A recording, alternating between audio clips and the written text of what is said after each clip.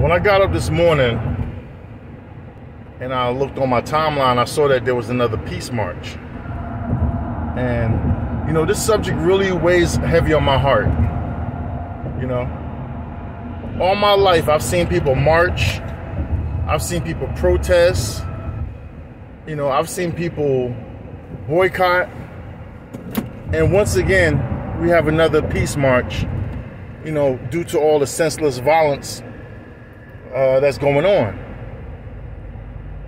I'm not an expert and I don't have an expert opinion, and I sure don't have no solution.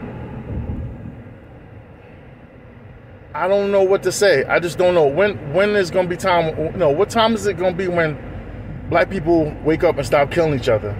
I mean, who knows? But marching and protesting and and all these peace walks and stop the violence walks.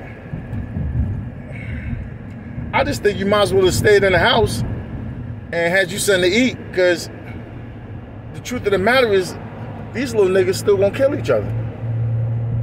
And they don't give two shits about your march or your walk.